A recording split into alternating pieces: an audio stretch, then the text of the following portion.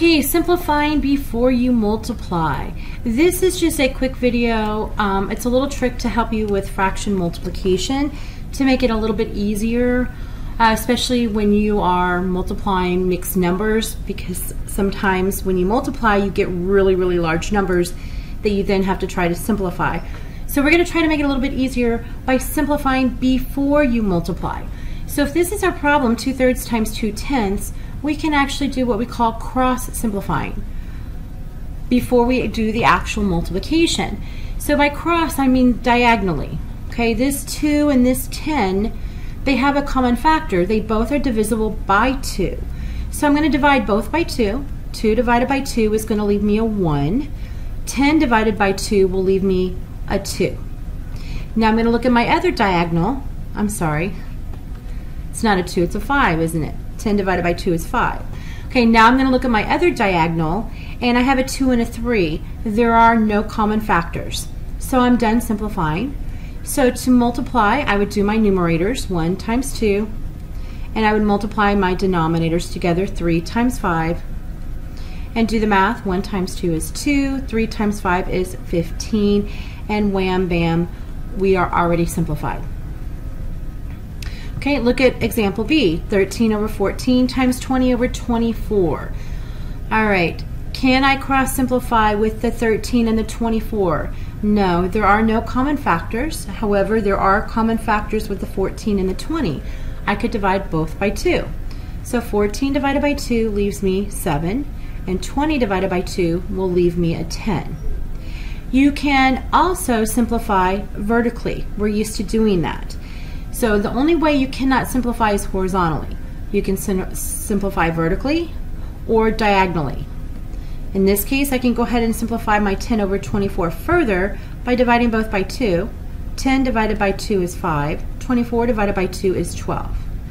And now I'm ready to do my multiplication. There's nothing else I can simplify. So to multiply my numerators, I would do 13 times 5.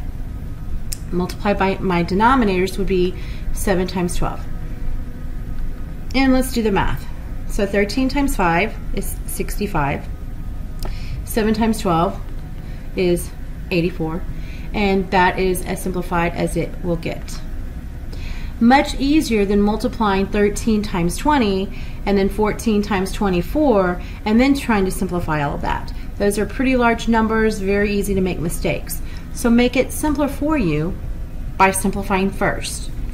Okay, I want you to go ahead and pause the video and work problem C, D, and E by yourself. Let's see how you do. C, D, and E.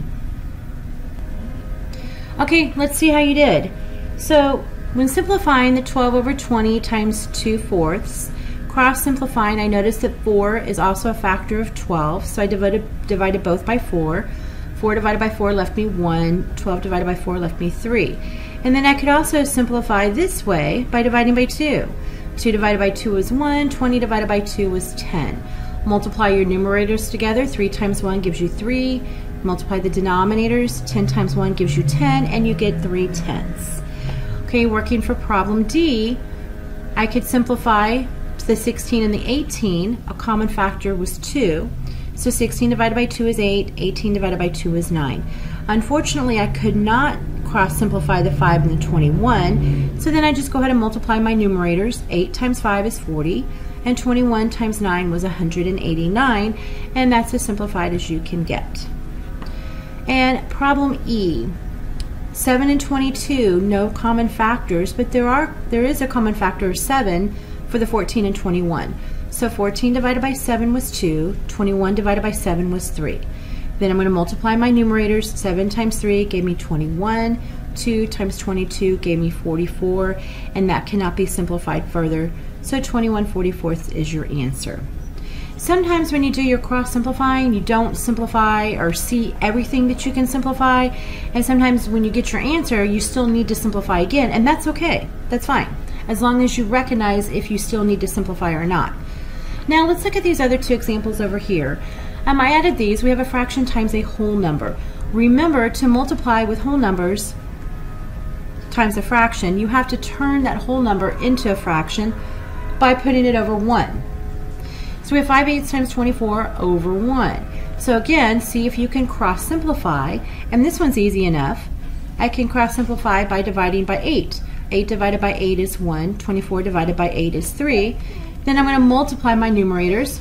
5 times 3 is 15.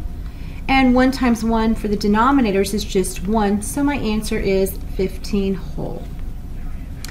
And again, with the mixed numbers, you still have to change them into improper fractions.